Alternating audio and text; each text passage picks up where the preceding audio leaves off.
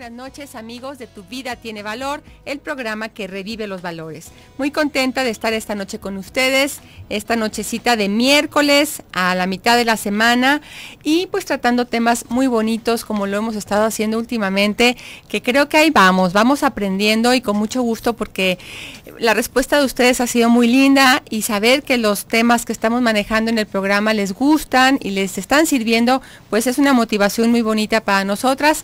El día de hoy Mechita, pues ya saben que anda en New York, New York, así es que la extrañamos, le mandamos un abrazo hasta allá y les recuerdo que estamos transmitiendo en la señal de Radio Mujer en el 1040 de AM, Promomedios, con un equipo de mucho valor que son Giovanni en los controles, en los teléfonos Donají y en asistencia de producción Chuy Preciado y Karen Michel en la página de Facebook. Yo soy tu servidora Iliana Hijuelos y muy contenta porque realmente hemos tenido programas lindísimos. Yo les recomiendo que entren a la página de Facebook Tu Vida Tiene Valor.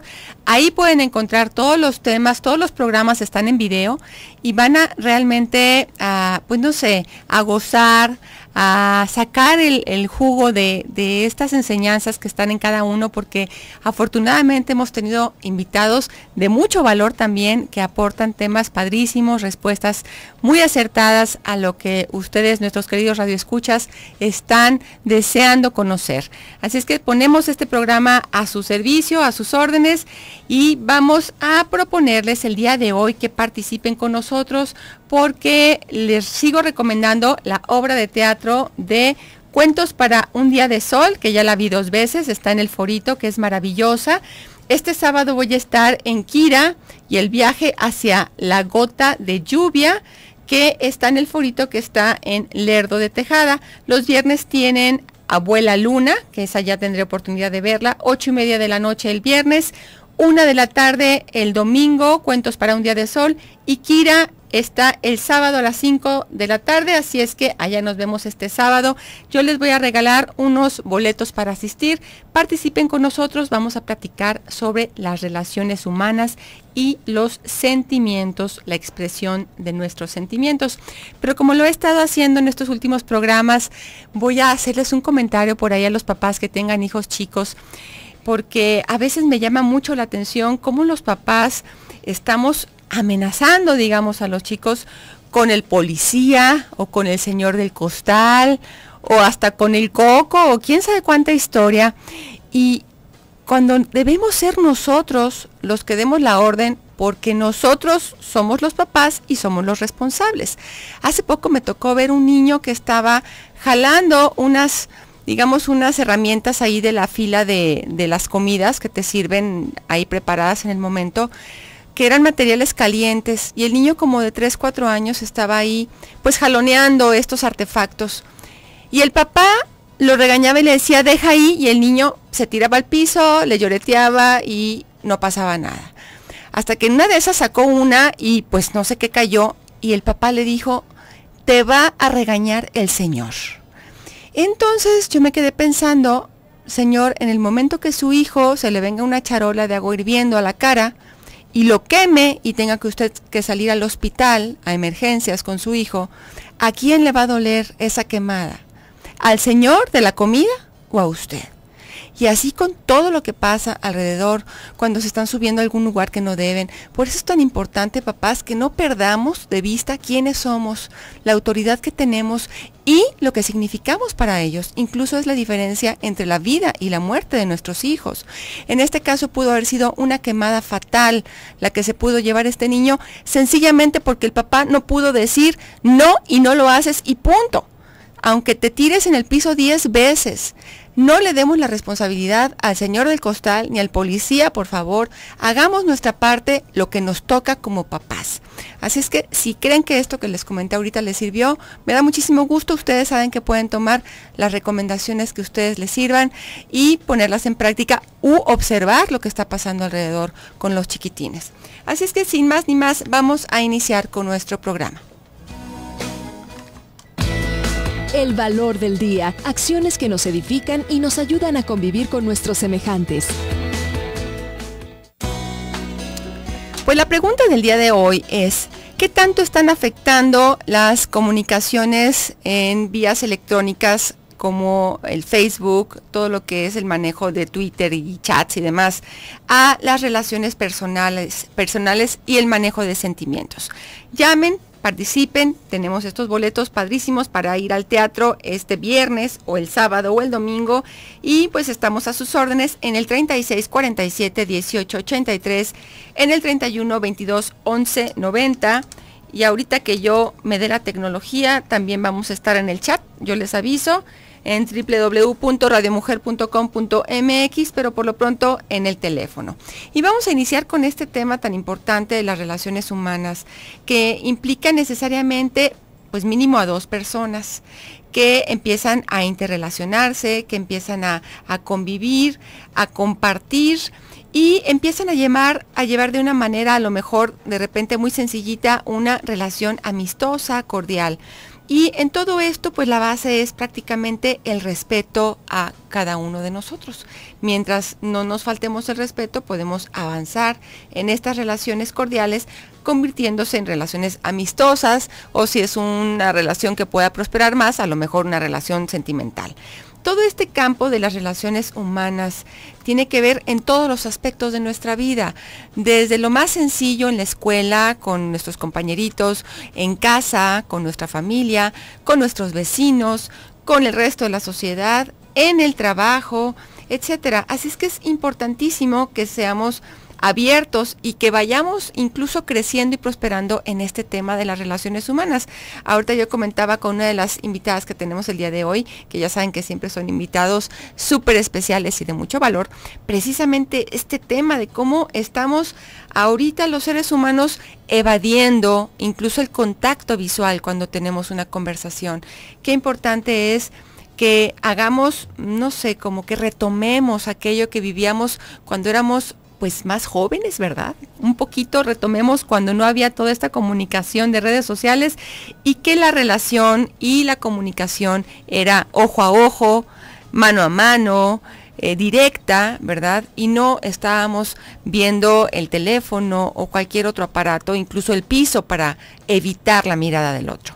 Pues ese es el tema del día de hoy, las relaciones humanas y también vamos a platicar mucho del manejo de los sentimientos que tienen mucho que ver, están muy ligadas una de la otra.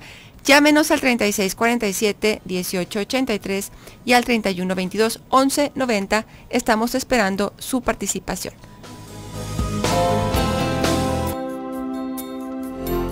Estamos platicando un tema muy bonito, muy humano, que en este momento es pues prácticamente el tema de hoy, que son las relaciones humanas incluso cómo se afecta en nuestros sentimientos en el uso de las redes sociales. Así es que los invito a participar con nosotros en el 36 47 18 83 y en el 31 22 11 90 y, y, participen con sus comentarios en relación a qué tanto nos están afectando las comunicaciones electrónicas a lo que son las relaciones humanas de valor.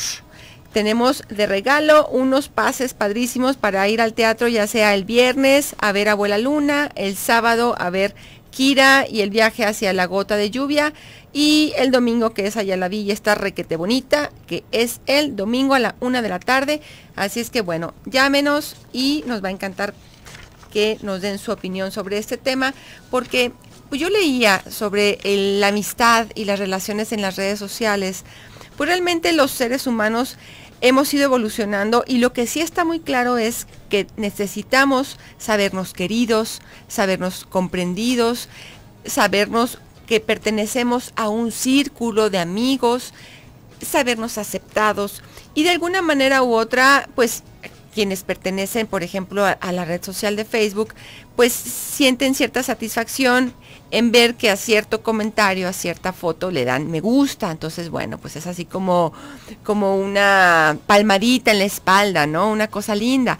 Pero pues de repente empieza a haber una situación de abuso en las redes sociales cuando las personas están prácticamente todo el día metidas en ellas y se olvidan de las relaciones personales o incluso pueden tener una gran cantidad de amigos en estas redes sociales y no poder tener una conversación cara a cara con otro ser humano, ¿sí?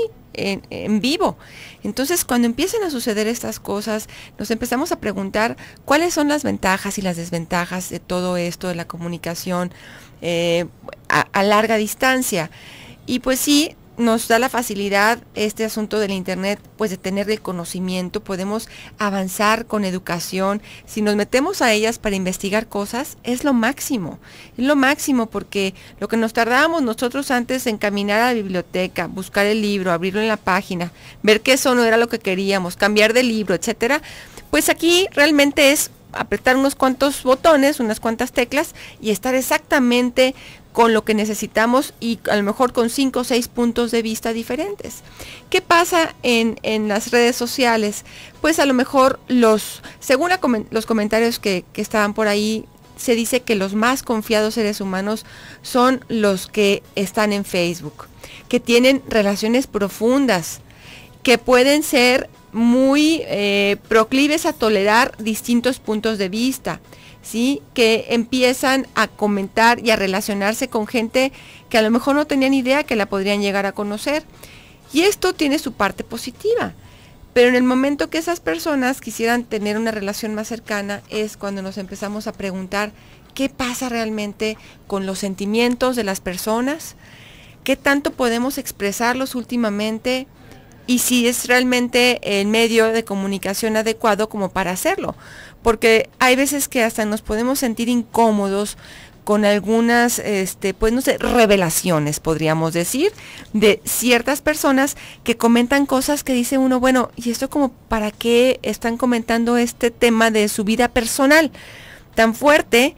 Y, y hay cosas que uno dice, pues, pues creo que se sale de lo que es el parámetro.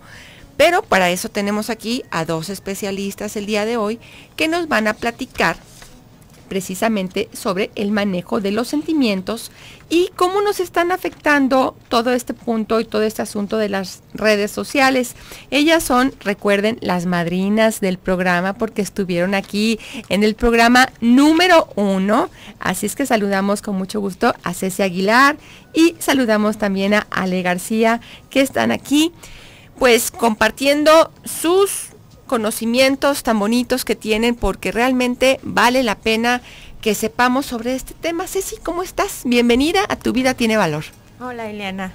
Muy bien, gracias. ¿Cómo estás, Ale? Muy bien, muchas gracias. Encantada de estar aquí de nuevo. Pues ellas son este, precisamente de la escuela, digamos, zona A ¿sí? ¿Cómo se le llama? Centro, de aprendizaje. Centro de aprendizaje, perdón, centro de aprendizaje zona A, en donde tratan los temas con niños y adolescentes, temas por ejemplo como este que estamos platicando ahorita. Fíjense que estaba viendo por ahí que ya hay clínicas especializadas en Estados Unidos, en China, en Gran Bretaña, donde se toca el tema de la adicción a las redes sociales como si fuera una adicción, alguna droga. Es lamentable, ¿no? Lo que está pasando ahorita con ese tema. Es lamentable. ¿Qué nos puedes decir de esto, Ale? Pues sí, el uso de las redes sociales, digo, todos lo sabemos, se ha hecho tan cotidiano, se ha hecho tan masivo, que han llegado a ser parte como fundamental, ¿no? En la vida de todos hace poquito, lo que me estabas, lo que estabas comentando hace rato, me hizo pensar en una investigación que hace, hace poco tiempo se realizó en España, en donde se encuestaba a niños y adolescentes españoles sobre las redes sociales. Y era un dato que me llamó mucho la atención, que era muy interesante, era que muchos de ellos decían que si no estaban conectados no se sentían vivos. ¿no? nada más. Sí, como es ya una necesidad para ellos el estar todo el tiempo subiendo cosas, compartiendo cosas, sabiendo de sus amigos a través de las redes, ¿no? Son chicos que ya no usan el teléfono. A los jóvenes de este de Guadalajara les preguntas, este, ¿por qué no le llamas por teléfono a tu amigo y pides la tarea? Y te dicen, no mamá, es que el teléfono ya no se usa, ¿no? Ya le pedí por chat, la tarea y me la van a mandar. Me van a fotografiar las copias y me las van a pasar por Facebook, ¿no? Cosa que antes a nosotros se nos hacía tan fácil decir, he hecho una llamada telefónica y veo cuál es el problema. Ellos no, ellos ya todo es a través de las redes sociales, es su forma cotidiana de comunicación. Fíjate que podría parecer pues moda, avance en, en la sociedad, en la tecnología, pero cuando esta situación empieza a absorber tiempos de contacto con los padres y de comunicación porque se aíslan en sus recámaras o incluso de hacer alguna actividad deportiva o Sí, aunque estén pidiendo la tarea, realmente es nada más el pretexto, porque muchas veces no la hacen, sencillamente es nada más para estar conversando, ¿es así? Claro, es que se vuelven tan atractivas, son tan atractivas las redes sociales, ¿no? Tenemos ahí video, tenemos imagen, tenemos texto, tenemos como tantas cosas que pueden hacer tan llamativa, tan, de tanto entretenimiento la red social, que los chicos se quedan, se quieren quedar ahí metidos, ¿no? Pero no tiene que ver nada más con el atractivo tiene que ver también con otras cuestiones de falta de sentido de vida, de falta de, ganas de estar con los otros, ¿no? Ahí habría que preguntarnos qué es lo que está pasando en la vida de los chicos que no quieren estar, que no quieren convivir en familia, que no quieren hacer la tarea y entonces mejor lo evadimos en la red social. Claro, ¿y qué está pasando con los papás que no estamos enseñando y acompañando en este proceso del uso de las redes sociales o del Internet, sencillamente. Los dejamos en la libertad total a la hora que quieras o incluso podríamos decir a las, eh, ya paga todo, ya es hora de dormir, ¿verdad? Sí como no. Entonces los papás se duermen, pero el chiquillo está hasta las 4 de la mañana metido ahí platicando, quién sabe con quién, y los papás son los últimos en darse cuenta, porque pues no tienen la precaución además de decir, bueno, en las recámaras no puede haber esta comunicación, lo vamos a hacer aquí en, esta área que es de todos y ya es tiempo de que le pares y ahora platiquemos o cenemos o lo que tú quieras. Pero vamos como aflojando, ¿no? En este tema. Claro, ¿te acuerdas cómo en los 80, los 90 la televisión se convirtió mucho en las niñeras, ¿no? De, claro, de los chicos, ¿no? Sí. Ahora muchas veces son las redes sociales y entonces los papás descargamos como toda la responsabilidad y queremos, lo, lo disfrazamos de confianza, ¿no? Ah, es que confiamos en que están en la red social y no vemos como todo el problema que también se puede derivar de ello pues es muy importante este tema que estamos platicando para todos, no crean que nada más para los chicos, porque los grandes también, hay unos que están clavadazos, clavadazos todo el día, si estornudo, suben el estornudo, este, si se ríen, si lloran, si van a desayunar este, unos chilaquiles, todo, todo, todo absolutamente está ahí paso a paso su día a día. Entonces, vamos a analizar un poquito este tema junto con el tema de los sentimientos. Ya tenemos aquí algunas llamadas, vamos a comentarlas después del corte. Estamos en el 36 47 18 83 y en el 31 22 11 90. ¿Cómo están afectando nuestras relaciones las redes sociales? Continuamos después del corte.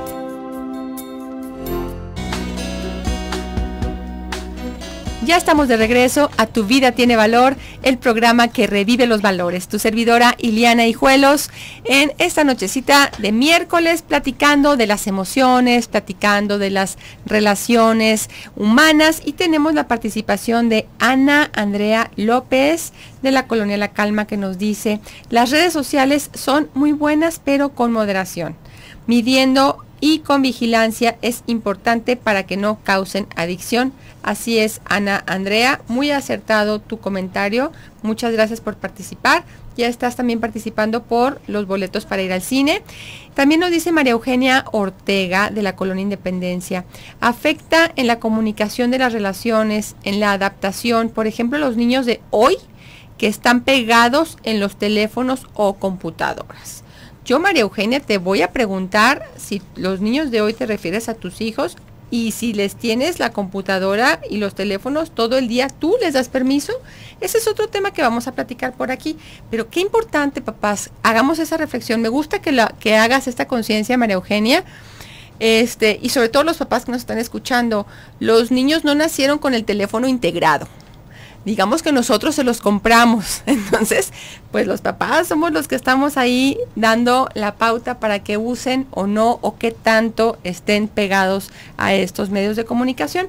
Así es que bueno, vamos a seguir platicando con Ceci y con Ale este tema de los sentimientos. Porque, oye, ¿ustedes piensan que las personas actualmente, no importa la edad, sabemos cómo manejar los sentimientos? Mira, este, yo creo que habemos personas que le vamos buscando la manera de saber manejar los sentimientos, pero culturalmente creo que es algo que no hacemos. ¿Por qué? Porque por lo general estamos eh, pensando, no estamos en contacto con nosotros mismos, ¿sí? Y entonces no sabemos realmente qué es lo que está pasando. Tú ponte a pensar cuando uno de tus hijos chiquito eh, iba caminando por ahí y de repente se cae y llora. ¿Qué es lo que hacemos? ¿Qué es lo que le decimos? Ay, ya, ya, ya, no pasó nada. Mira el pajarito, voltea para allá, deja de llorar, ¿no? Lo queremos distraer, le estamos diciendo que no pasó nada. Sí. Yo digo, tú cáete, ráspate la rodilla y dime si realmente no pasa nada. Si realmente eso no duele. Entonces somos nosotros, papás, porque así nos enseñaron a nosotros, los que, le, los que le tenemos miedo a los sentimientos. Y veo a mi hijo llorar y quiero que deje de llorar, porque tengo miedo. Porque me angustia verlo Porque me angustia y porque me contacta con mi propio dolor. Entonces, en ese momento, ¿qué te parece que le dices al niño? Sí, duele muchísimo. Esa raspada que te hiciste duele mucho. Entonces el niño se siente validado en lo que está sintiendo, porque de todos modos lo está sintiendo. Pero ¿qué pasa cuando le decimos, no pasó nada? Él dice, ah, esto que siento no es nada. No es nada. Entonces, a lo largo del tiempo, obviamente, lo voy dejando ahí. Ah, llega el momento en que ya no lo siento.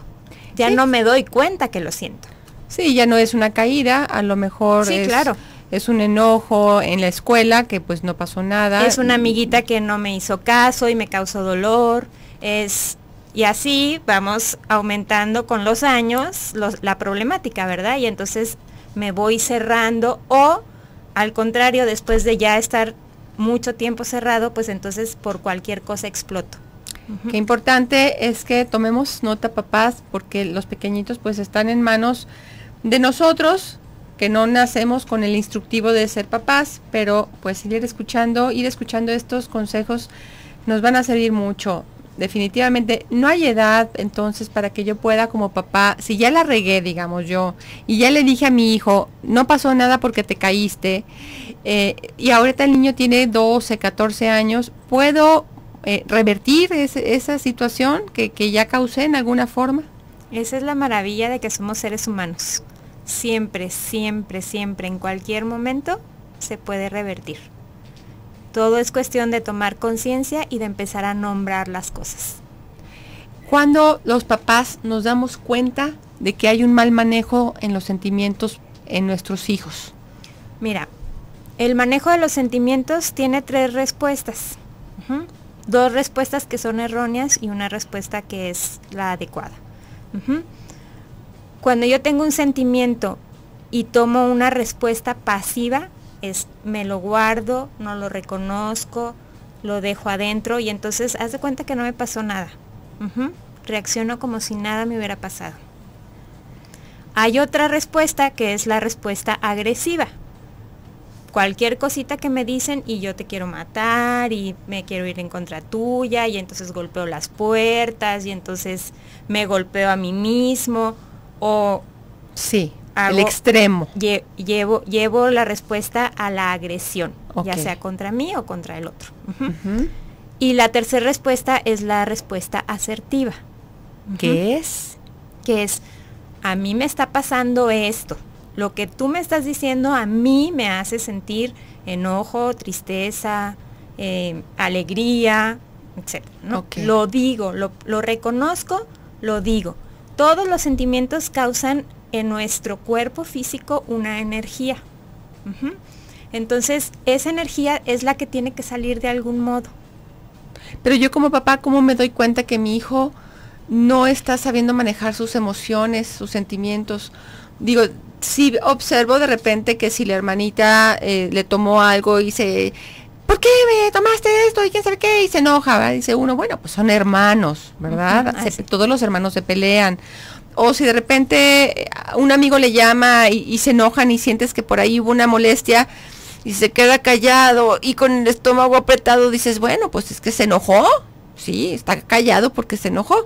Entonces, ¿dónde está el término medio empezar que, qué respuesta es la correcta o no para yo saber cómo, qué está pasando con ese niño? Las respuestas exageradas son las respuestas que están erróneas. Ok. Sí.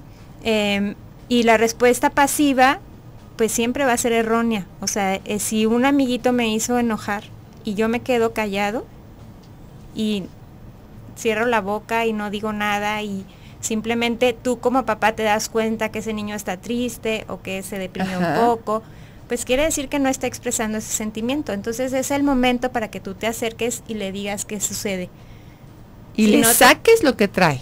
Si no te quiere contar porque es algo íntimo, porque es entre ellos, tú le puedes empezar a decir más o menos cómo te sientes tú cuando sucede una situación similar, ¿no? Y entonces le modelas a tu hijo ese, ese, ese reconocer ese sentimiento.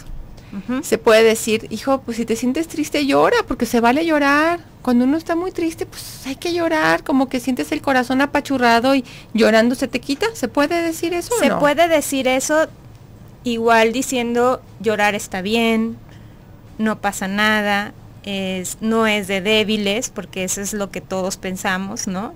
Hombres y mujeres. Sí. Más hombres, ¿verdad? Pero hombres y mujeres. No, en la actualidad ya también las mujeres traemos ese chip. Si lloramos es que soy débil, es que pudieron conmigo. Entonces se puede acercar, pero lo que yo les recomiendo es, yo me acerco y digo, a mí cuando mis amigos me hacían esto, me daba mucha tristeza.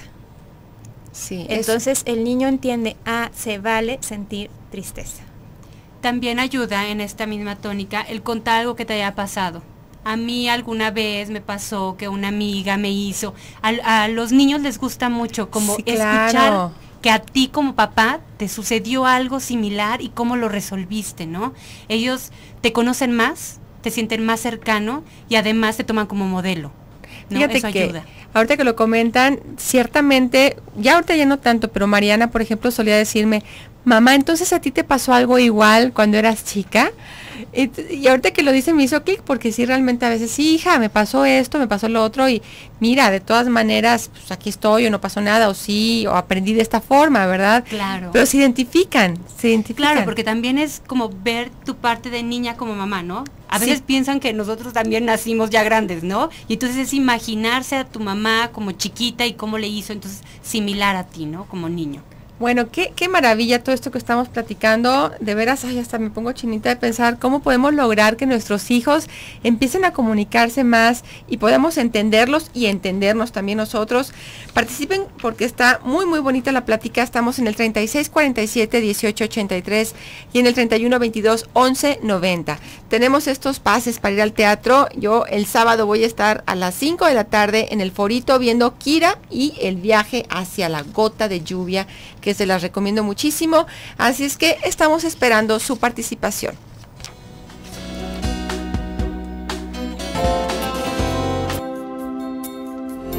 Estamos de regreso a Tu vida tiene valor, el programa que revive los valores. Nos comparte por aquí una abuelita linda que tenemos, Virginia Díaz, gracias por comunicarte, nos dice, tengo dos nietos. Dice, muchas felicidades, el programa muy interesante. Gracias, Virginia.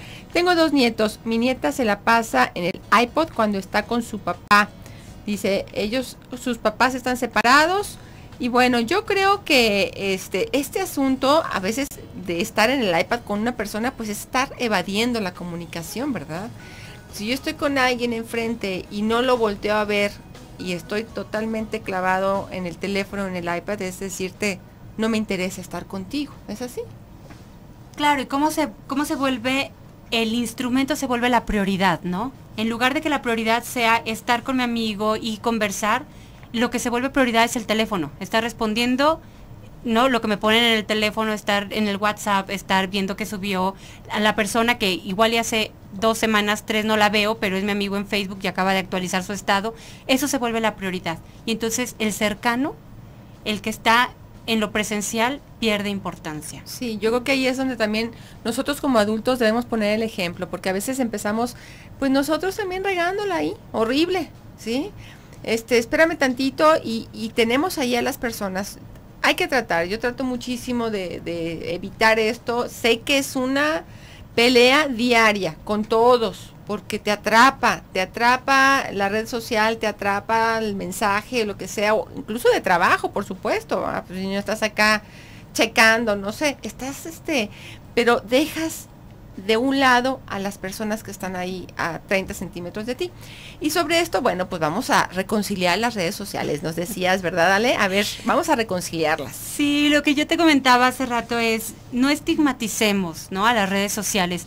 Como todo en este mundo tiene cosas buenas y tiene cosas malas, ¿no? Todo llevado al extremo nos perjudica de alguna manera. Para mí, las redes sociales son la oportunidad de llevar la conversación más allá de, la presencialidad y eso es muy padre. Como maestra tengo grupos de Facebook, por ejemplo, y puedo seguir dialogando con mis alumnas a través de los grupos fuera del aula y fuera de horario clase. Y eso es muy rico y es muy padre. El problema es cuando se vuelve, como tú comentabas, un vicio, ¿no? Y entonces hay que estar conectados todo el tiempo. Para mí son una oportunidad de aprender nuevas maneras de comunicarme, nuevas maneras de aprender, aprender también, ¿no?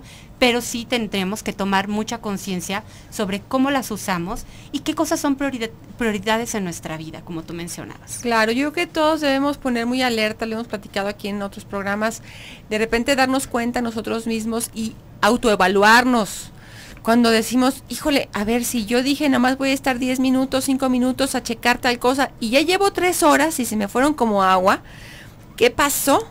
Alto ahí. Es como decir solo por hoy, ¿no? Voy despacito y con cuidado porque estamos en el límite de que esto se convierta en una adicción y que pase de nivel. Eh, a mí me gustaría que comentáramos un poquito sobre las emociones de los chicos. ¿Cuáles son las más comunes que se manifiestan en la etapa de los pequeños? Mira, las emociones más comunes son el enojo, la tristeza, la alegría, el miedo, la apatía y el amor. Y es bueno que todas esas emociones estén fluyendo cotidianamente, digamos. Digo, si hay motivos de estar triste, pues sale la tristeza porque se murió el pececito en la pecera. Exactamente.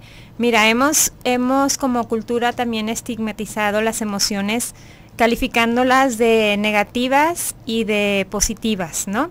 Negativas todas aquellas que nos hacen sentir algún malestar. No es bonito estar triste, no es bonito sentirse enojado, no es bonito estar apático, no es bonito, no se siente bien. Se siente bien estar alegre, se siente bien estar amoroso, ¿no? Este, y entonces hemos aprendido a decir, ah, estas son las negativas, estas son las positivas. Pero en realidad todas son partes del ser humano. Todas las emociones son necesarias para nosotros, para vivir y para crecer. Yo les digo a los chicos a veces, a ver, ¿qué le pasaría a una persona que no siente miedo nunca?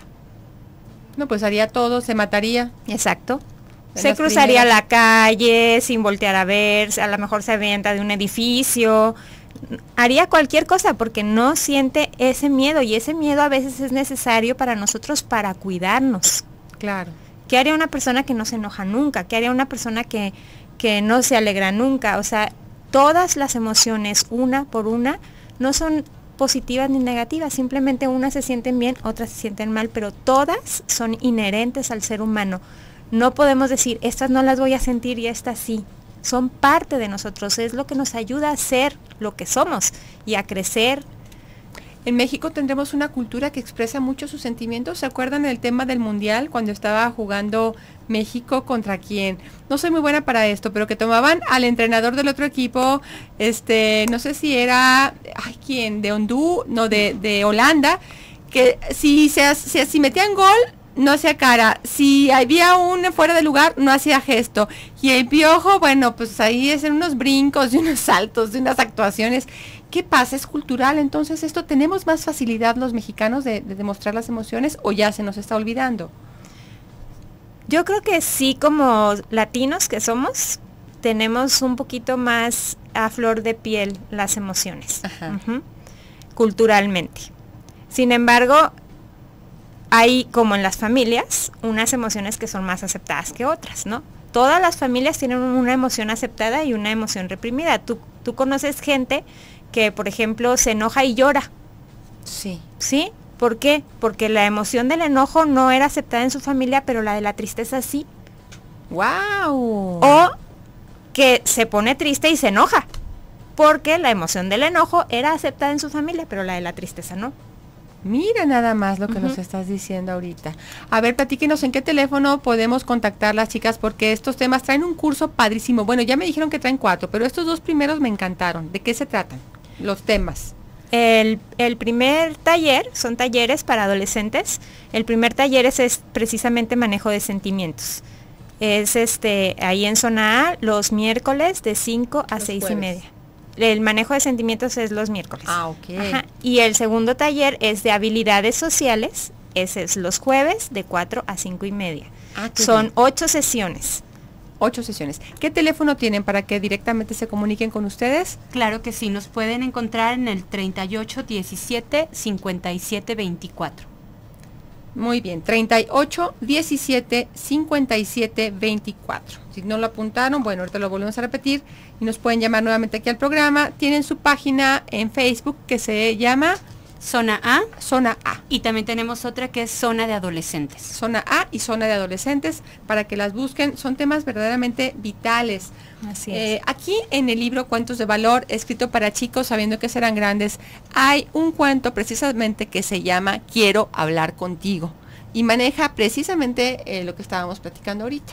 Es un chiquito que está esperando a su papá porque lleva de viaje una semana, está ansioso porque cuando llegue el papá le va a contar esto y le va a contar lo otro y le va a contar aquello y se mete a bañar y está imaginándose hasta que le va a decir que lo invite al siguiente viaje, ¿no? Maravillado, llega el papá, baja a cenar con, con él y en el momento que están por empezar a platicar empieza el celular, ¿no? Entonces dice el niño, es que llegó pero como si no estuviera se quedó platicando con quién sabe quién y empezó a platicar el tema y jajaja, jajaja, pero ya no soltó el celular. Y habla como este niño enfrenta al papá y le dice al final, quiero hablar contigo. ¿Sí? Es que hijo, sí te estoy escuchando, pero no me estás viendo. Y también los niños ahorita nos hacen tener estas reflexiones, papás, y hay que escucharlos. Este libro está a la venta en Gombi y en Gandhi y son temas verdaderamente del día de hoy que debemos tomar muy en consideración porque pues a veces aunque seamos los papás se nos va la onda y los niños nos acuden y nos hacen reflexionar cuestiones tan sencillas como esta, quiero hablar contigo. Entonces, ¿qué podríamos decirles a nuestros radioescuchas como una recomendación para tener este, pues este asunto de, las relaciones humanas más cercanas con, con los que nos rodean? ¿Qué podemos hacer para integrarnos? Yo en cuanto a relaciones humanas y redes sociales, yo lo que sugeriría es como familia reflexionen sobre sus prioridades, sobre a qué le dan valor, a qué le dan importancia en la casa, ¿no? Y empezar a recuperar estas cuestiones que son importantes. Si es importante conversar y solo estamos juntos a la hora de la comida, entonces quizá poner medidas como nada de celular a la hora de la comida y todos podemos vernos y podemos escucharnos.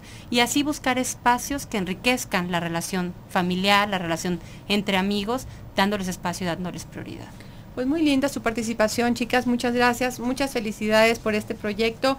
Las, las ganadoras de los pases son eh, José, José Chávez de la colonia Arboledas. También tenemos a Ana Andrea López de la colonia La Calma. María Eugenia Ortega también se lleva uno de los boletos. José Chávez nos está comentando, a veces uno no se puede meter mucho en la educación de los nietos, sobre todo con la tecnología de hoy. Pues no sé, José, pues si fueras tú mi papá, yo sí te diría que me dijeras unos cuantos consejillos. Vamos a decirles a los papás que tengamos oídos a los abuelos que tienen tanta sabiduría. Nos escuchamos el día de mañana en Tu vida tiene valor.